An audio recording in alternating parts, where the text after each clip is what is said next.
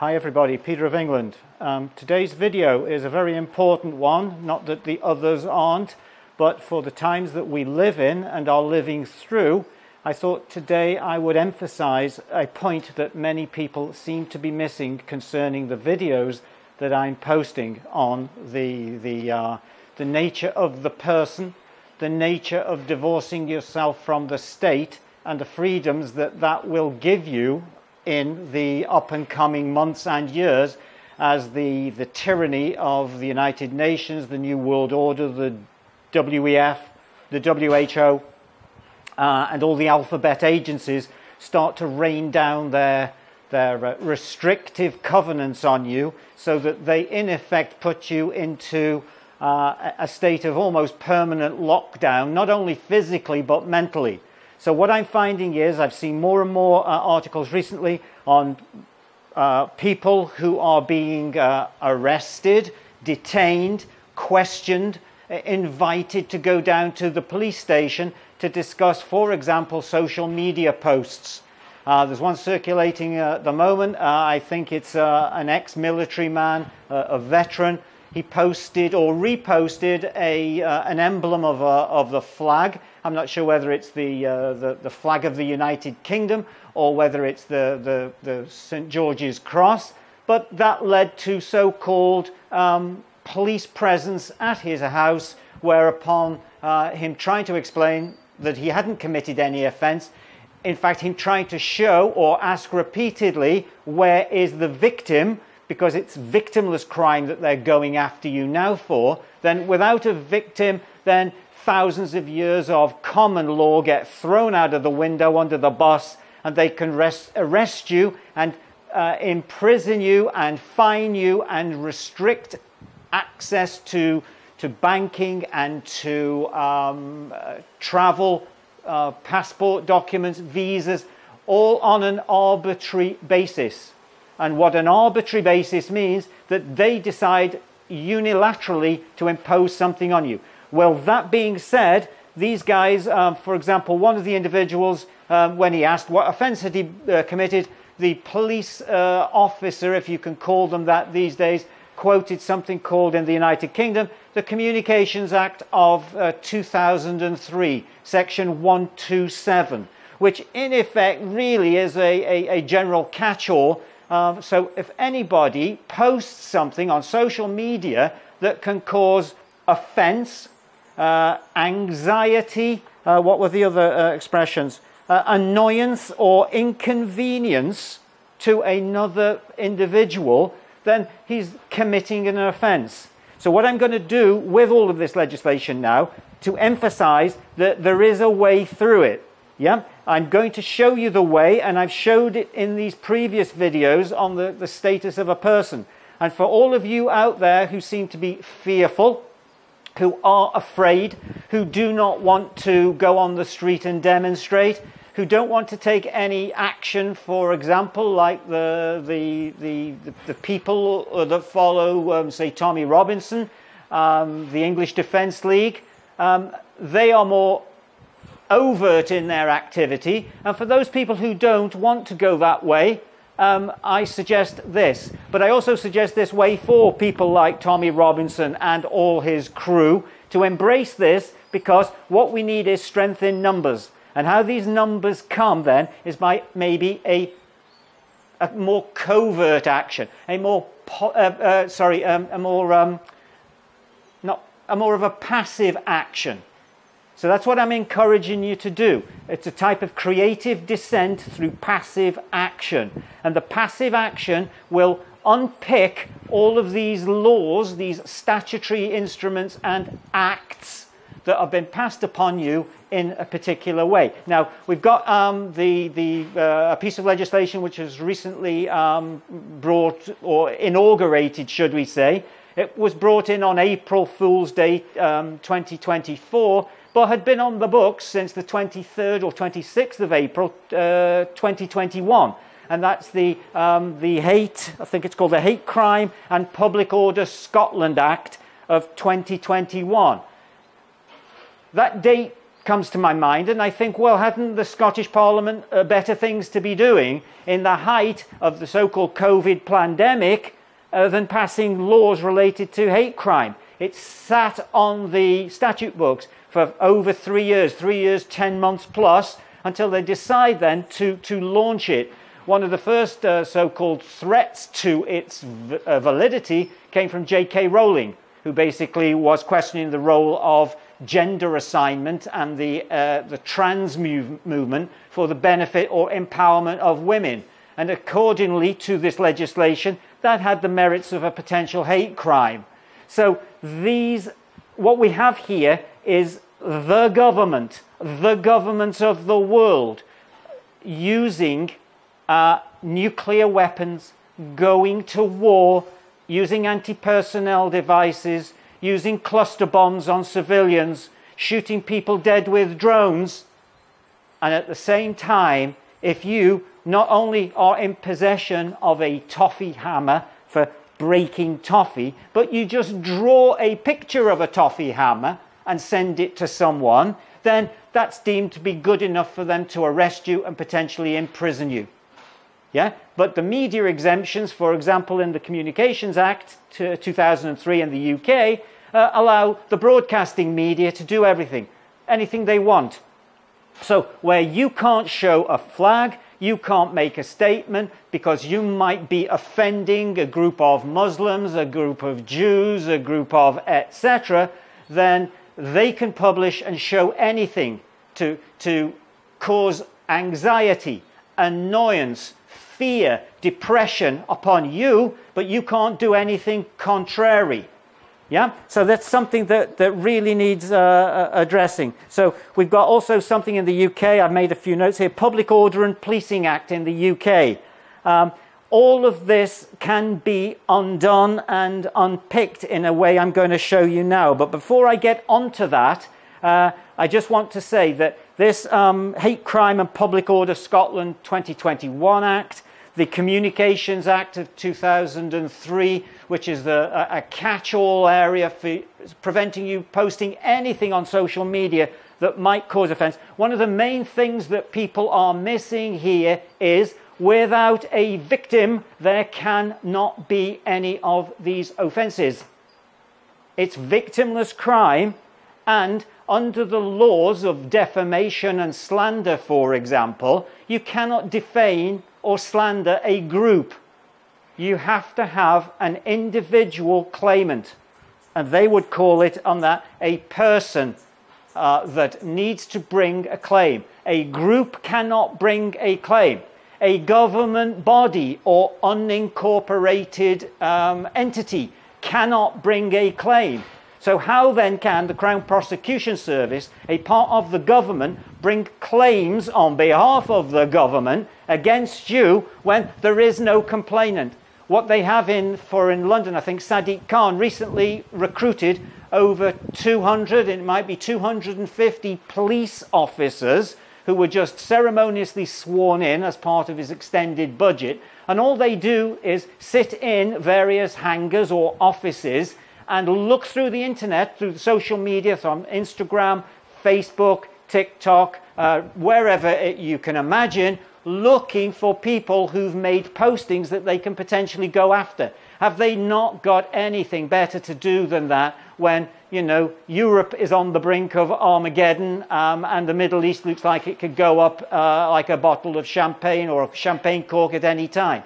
So that's the predicament that you find yourself in, and it's getting worse. So you need to go to area52.life. You know, need to go to the services section there. You need to look up declaration of divorce. You also need to look up clausula rebus sic stantibus. Yeah? These, these, this law will help you to get through to where you need to go. And through 2024, you must renounce this assumption and this personification that is applied to you that you are assumed to be a person. If you now uh, look under every single piece of legislation that is current in the United Kingdom and in uh, any other Commonwealth country or in, um, we would say, uh, you know, the United States, it all refers unequivocally to the status of a person. Okay? If you look at what's called, for the UK law, I'll use this as an example, and for all these people uh, that are in other parts of the world, uh, you can look up, look up the relevant um, sections in your various acts, whether they're criminal acts or taxation acts or uh, uh, any other type of uh, legislation, statutory or otherwise. You need to look up the status um, under what's called a person. Okay, so for example, in the UK, it's the Interpretation Act 1889, sections 2 and sections 19, which elaborate on the definition of person and how that applies to all acts from then on. So, if you are a person, it applies to you. The Income and Corporation Tax Act, the Theft Act, the Fraud Act, the Hate Crime and Public Order Scotland Act, the Communications Act, every single act, the Road Traffic Acts, they all apply to you because you are not rebutting the assumption that you are a person. And the person or personage aspect of also what's called barratry comes from the birth certificate. That's where it starts, and that's where you've got to make it end. And how you do that, and these people who've been arrested, for all of those out there who want to post something like a flag, or want to say about glorious Britain, or who want to post an Easter egg, or want to post a depiction of Christ, whether it's on a cross or not. You have the freedom of expression. Do not let them take it away from you. Yeah? Just because they've got some troll cell of Muslims somewhere claiming that they took offense, where you can't have their identity revealed to you because it's for their security and protection, just means what we have now are like in um, pre 1939 Germany, we have the Gestapo, the Geheimnisstaatspolice, we have the secret services arresting you on arbitrary charges, and it's the same as Stalinist Russia. It's a catastrophe. So you've got to start now being clever. You've got to try and do something use creative dissent. So let's start and give you the antidotes to all this nonsense. Okay? This needs to be done and you need to do this. So, for example, one of the basic things that you can do, ab initio, off the bat, is revoke or renounce any association with what's called Article 6 of the Universal Declaration of Human Rights. What that basically says as, is that everyone has the right to be identified as a person everywhere before the law. Okay? So it's a trick clause. They are telling you you will be identified and that will then affect your rights. So don't do that. Don't go for that. Um, I then mentioned go to area 52.life, go to the services bar, and go down to declaration of divorce. Divorce yourself from the state and the apparatus that is controlling you. It's no good, obviously, if one person does it because they'll come along and laugh at you and say, oh, yeah, we've heard all that. But if numbers of you, if groups of you, if Tommy Robinson and his legion, for example, decide or wish to do it, then do it. It can't do you any harm. It can only help your progression to keep you out of the court and to come along with a new mindset to say, in effect, fuck this, we've had enough. Yeah? Our turn now. This is what I'm trying to portray. And what I'd like to do now is give you some other additional uh, information. And what that will be is under the Universal Declaration of Human Rights, yeah, there are three, uh, 1890, three major articles that you need to look at. Okay, and I'll read them to you now because this is what's called the Universal Declaration of Human Rights. Yeah? It isn't the Bavarian one or it isn't the regional local one. It isn't the one for London and the home counties only. It isn't for the metropolitan police zones only. It's universal. And all the signatories um, of the United Nations signed it after the war, and it was, uh, it was co chaired or led by uh, Eleanor Roosevelt. the, the, the, the wife of Teddy Roosevelt, on the belief that these rights were inviolable and should never be stopped or challenged or threatened again due to the heinous nature of what the, the previous world wars had done. So let me read something to you now, and this is your defense. This is your defense to any policeman that tries to close you down, to any organization that tries to say, you can't express yourself, you can't post that. Just say to them, give them the finger and give them Articles 18 to 20, which I'm going to read to you now. Article 18 of the Universal Declaration of Human Rights Officer says as follows Everyone has the right to freedom of thought, conscience, and religion. This right includes freedom to change his religion or belief, and freedom either alone or in community with others and in public or private to manifest his religion, his belief in teachings or practice or worship or observance. Quite clear. Article 19 of the Universal Declaration of Human Rights, officer.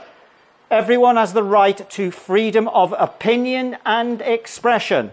This right includes freedom to hold opinions without interference and to seek, receive, and impart information and ideas through any media, regardless of frontiers. Quite specific. Article 20 Everyone has the right to freedom of peaceful assembly and association. So, for the lady who was standing within 150 meters of the abortion clinic, praying to God, and the police came and arrested her because she was in violation of some uh, um, restraining order. Totally unlawful, illegal. And the police have got to be made to know this. So I would write these uh, articles down, either put them on a card or just memorize them and read them to anyone that is trying to violate your basic rights. Article uh, so, yeah, so Article 20 everyone has the right to freedom of peaceful assembly and association. And here's another big one which gives you a lead in for the Declaration of Divorce and Clausula Rebus Sic Stantibus, which overrides Pacta Sunt Servandum. That means promises must be kept. No, they're not necessarily to be kept if they're only one sided through adhesion contracts where it's all good for them and no good for you. You need to have a change of mind. Article 20, uh, subsection 2. No one may be compelled to belong to an association. Okay? Clear. No one. You cannot force anyone into becoming a trustee. It has to be voluntarily done. You can't compel anyone to be a member of a, an association, a group, or a government that you don't wish to be part of. And I will give you the definition of association a group of people, government, who work together, government, in a single organization, government, for a particular purpose, government. In effect, it's the club. It's the club that you're not in but it is the club they use to beat you over their head from breakfast till bedtime, from the womb until the tomb, and you don't have much of a say in it. So wake up, get on board, get in touch with us, either come through the various email links that are in the bottom of this uh, or through area52.life or reach out to us in some other way for us to come and do a maybe a presentation locally for you in a village hall or wherever and we will give them uh, something to remember because you've got the law on your side and what we need here is a waking up in a passive way because we will hoist them on their own petard. We'll blow them up with their own bomb. And how we do that is we use the legislation that they've created to entrap you, and God, therefore, gives us a fact or a remedy that though their attempts might be foolproof, they think, they're not God proof. And the easiest way of undoing it is a self declaratory nature of making your identity something other than they claim that you are. But we need to do it in numbers. People like, uh, uh, uh, and I know my previous video was on a completely different topic. It was on the, the idea of Satanism, Luciferism, the Church of Thelema, the Masonic orders, and all of the police, all of the politicians, all the Whitehall gang, the mandarins of business, who are all uh, Masonically sworn in. You've got to find a way through that. And the only way to do it, when all of these people crack and find out they were sold a false bill of goods, the lies of Lucifer, they always do what? They always turn to Christ, they always turn to God, and they do it either by becoming priests or pastors or announcing that they've found God.